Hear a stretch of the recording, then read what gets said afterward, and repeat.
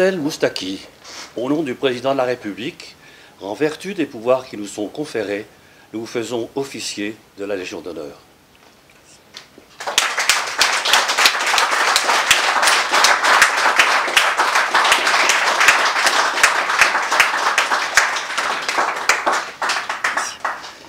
J'ai demandé à Geneviève Moussi de vous dire quelques mots.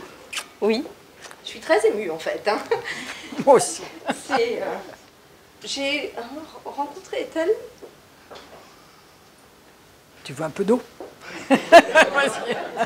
Normalement, c'est toi. Je crois que Ethel illustre pour moi une personne qui a su euh, mener euh, quelque chose d'exemplaire. C'est une généticienne qui a euh, fait un travail très fondamental, mais pour qui la notion de recherche fondamentale ou recherche translationnelle lui est égale, elle s'en fiche. Ce qui l'intéresse, c'est la découverte, et découvrir dans tous les champs du possible euh, c'est un petit peu ce qui l'a motivée dans ce qu'elle a fait et ce qu'elle a essayé d'encourager autour d'elle. Donc je crois qu'à ce titre, comme femme à l'Institut Curie, elle est vraiment un emblème de ce qu'on peut faire pour promouvoir euh, une recherche dans son continuum qui va du plus fondamental jusque vers des applications au niveau médical. Et elle a été précurseur sur de nombreux terrains au niveau de la recherche et ça, je pense que c'est aussi tout à fait remarquable. Donc vraiment un très grand merci pour ce que tu permets aux autres de faire euh, et que tu encourages. Avant toute chose, je veux dire mon attachement à l'Institut Curie. Au fond, peut-être la fidélité, c'est une de mes caractéristiques dans ma vie privée, dans ma vie euh, professionnelle.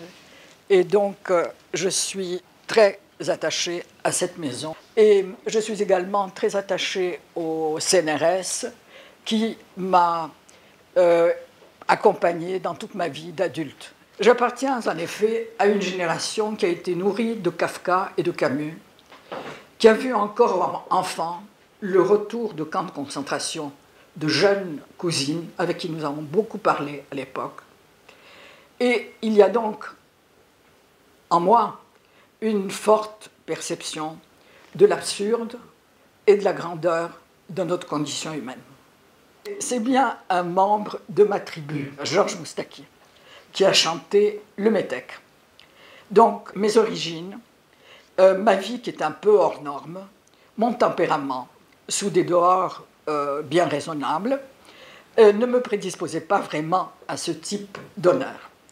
J'en suis donc touché, car le chemin a été par moments périlleux c'est à partir de 1954 que j'ai appris à manipuler et à mesurer la radioactivité. Et ce, en section de physique, alors dirigée par Madame Joliot. J'ai la vision d'Irène Joliot, euh, marchant d'un pas ferme, euh, concentré, et des balais qu'elle avait achetés au BHV pour le laboratoire. Et avec ses balais sur l'épaule, elle avançait dans la rue euh, Saint-Jacques. Et je la regardais en me disant quand même, elle a le prix Nobel et elle va acheter des balais pour le laboratoire. C'était une époque où on nous apprenait à travailler le verre. Il y avait beaucoup de choses qu'on faisait nous-mêmes. On faisait des montages qui tenaient un peu du docteur Folamour euh, euh, ou de certains aussi de Zorba le grec, ça fuyait. Ça... Mon ami Bizani rigole, mais il sait de quoi je parle. Les mots-clés de cette époque, pour les, trois années que j'ai passées en section de physique, c'était hormones, cancer et cancérogènes chimiques. Ça, c'était les thèmes essentiels que travaillait Antoine Lacassagne, qui était directeur de la biologie. Parce qu'il faut dire que nous manipulions la radioactivité comme des cochons. Il y avait de la radioactivité partout. Et donc, euh, le médecin du travail m'annonçait régulièrement Vous avez une formule sanguine inversée. Je ne sais pas si on utilise encore ce thème. donc, il fallait partir à la montagne pour se refaire un peu des globules rouges. Donc, j'en avais un peu assez de, de, cela. Et je vais voir Boris Efrussi, qui a été mon prof de génétique à la Sorbonne et que j'admirais énormément. Boris Efrussi me dit Non, je ne peux pas vous prendre, mais allez voir mon ami Raymond Latarget et expliquez-lui votre situation, dites-lui que vous y allez de ma part. Latarget me reçoit très gentiment. Il me dit écoutez, votre cursus m'intéresse, euh, vous avez fait euh, chimie, physiologie, génétique à la Sorbonne, euh, ça me plaît, je vais voir ce que je peux faire pour vous. Euh, je dois dire qu'à l'époque, j'avais des vacations qui se montaient à 100 francs par mois. C'était pas beaucoup, même à l'époque. Je reçois une lettre que j'ai toujours gardée, je l'ai encore, une lettre très très sympathique, formidable, où entre autres il me dit J'ai résolu votre problème. Ah, formidable. J'ai pour vous une bourse de 400 francs euh, de la Ligue nationale pour la lutte contre le cancer. 400 francs, c'était le Pérou pour moi. Et d'ailleurs, je me suis précipité à la librairie La Une et j'ai acheté une sérigraphie de Nicolas de Stahl. Tenez-vous bien.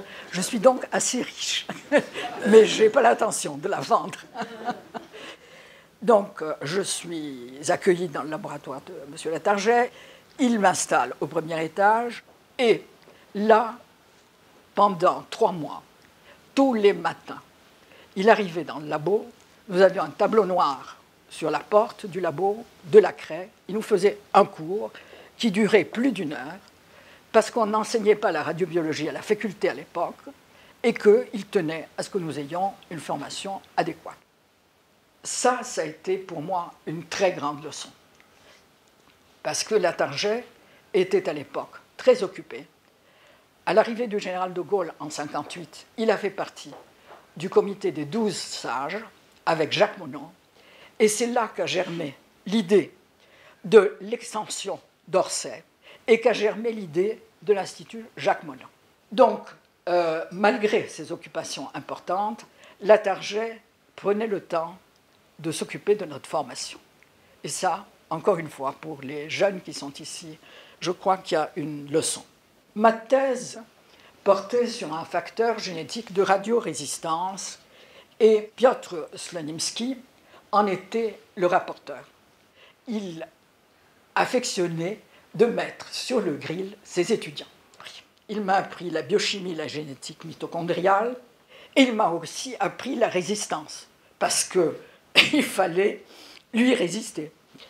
J'ai gardé le souvenir d'une formation exigeante, de déjeuner à la cantine, où nous mangions ensemble les médecins et les chercheurs autour d'une grande table. Je trouve que ça s'est un peu perdu, ce contact quotidien entre chercheurs et médecins. Après ma thèse, je suis parti en postdoc à Seattle et je découvre des paysages somptueux de montagnes et d'océans, un esprit libertaire qu'on ne trouvait pas dans le reste des États-Unis.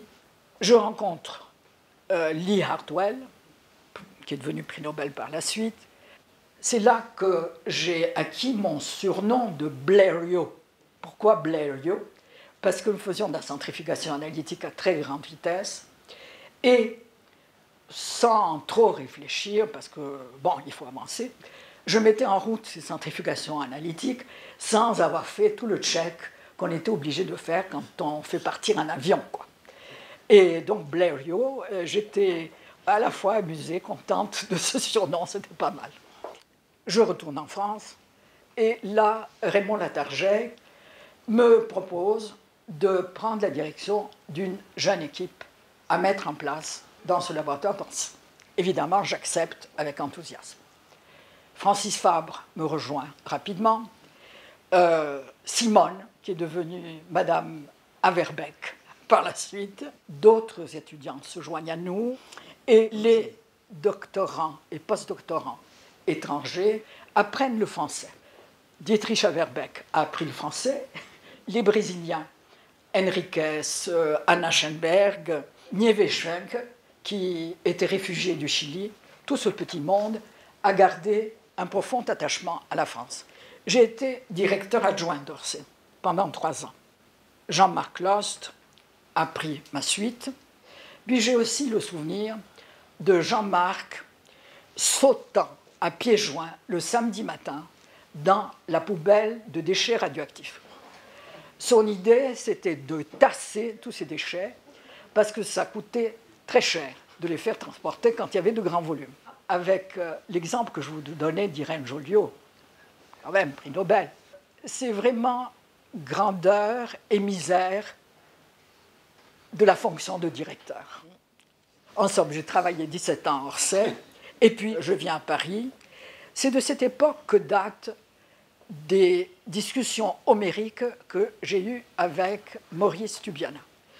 Euh, Maurice était un être extraordinaire, très intelligent, très cultivé, et j'avais la plus grande admiration pour lui. Mais en même temps, nous avions de grands conflits, parce que lui considérait qu'il y a constamment un seuil à l'effet des radiations. Et moi, je n'étais pas tout à fait d'accord avec ce point de vue. Je pensais que les doses, même très faibles, pouvaient avoir des effets. Donc vous voyez, il y avait un conflit, il y avait une discussion, mais c'était toujours une discussion infiniment courtoise et enrichissante pour moi. Avec euh, Lars Ehrenberg de l'Université de Stockholm, on écrit un gros papier qui était destiné à la Commission internationale de protection contre les effets des radiations et des agents chimiques.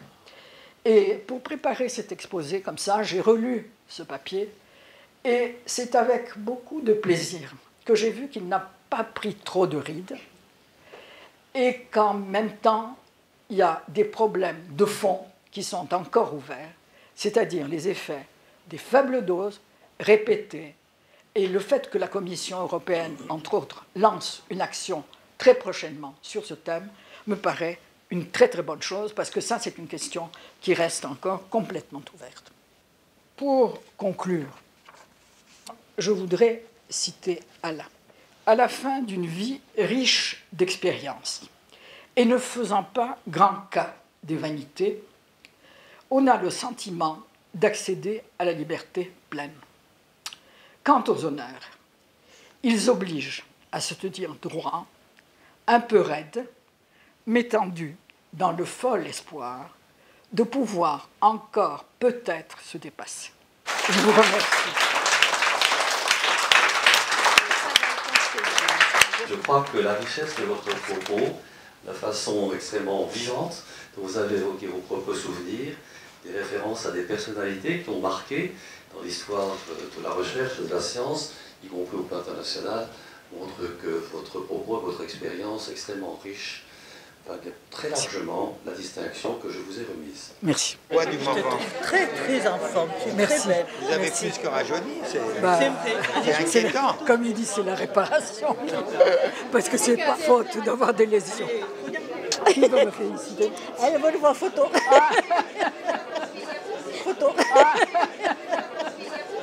C'était très bien. C'est vrai? Très bien. Vous avez vu le film Ça se passe au, au Maroc. Euh, et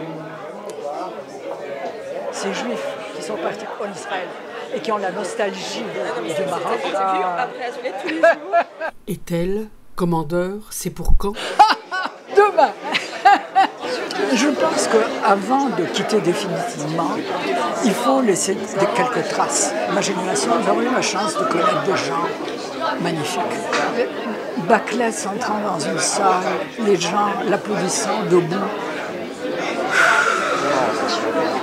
C'est fini. Ça, quand tu es, C'est fini, ça. quand tu es tout jeune, que tu vois ça, tu te est ce monsieur? Mais c'est quelqu'un de curieux.